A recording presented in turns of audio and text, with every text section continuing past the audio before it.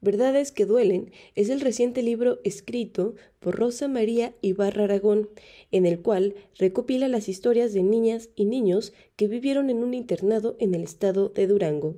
La presentación se llevó a cabo en la Biblioteca Pública del Estado de Jalisco. De acuerdo con la escritora, el libro es un grito desesperado de las víctimas de violencia física, sexual y psicológica dentro del internado, situaciones dolorosas que marcaron la vida de los menores. Esas son pequeñas historias como una muestra de lo que ocurre en un internado de cualquier parte del mundo.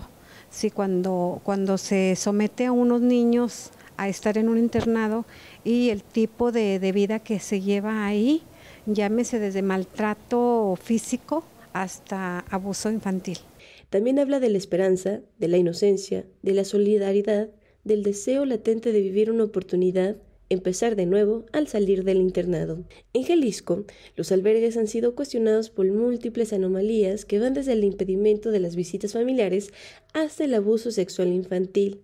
Este año, 2023, en Jalisco existen 1.914 niños que viven internados en albergues bajo el resguardo del Estado.